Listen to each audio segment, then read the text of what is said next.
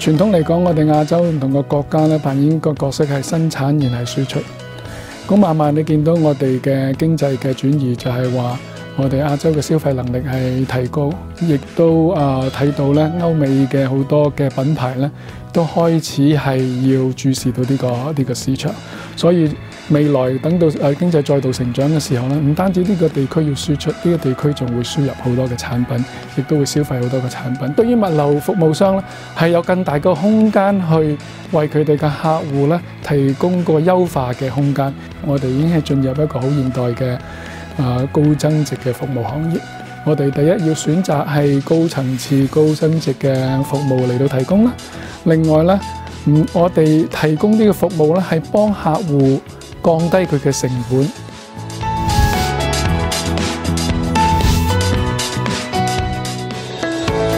香港國際機場作為全球領先嘅貨運航空枢纽，令到重要同埋緊急嘅貨物，例如係抗疫物資等等，都可以順利運到全球各個目的地。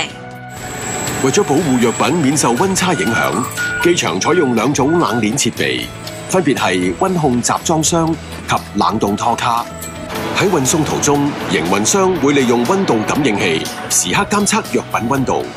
同時，冷藏庫設置嘅實時溫度監測裝置，亦同物業管理系統相連接，以確保喺航空貨運站處理嘅藥品受到嚴格嘅溫度監控。除此之外，二十四小時清關服務，使藥品運送更加快捷高效。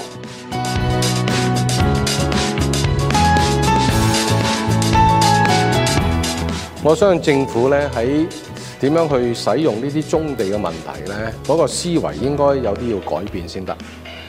嗱，你喺誒呢度好清楚噶啦，就話嗱，我啊需要發展，我要收翻佢啊，咁啊我冇辦法一換一安排噶啦啊，總之我賠錢俾你。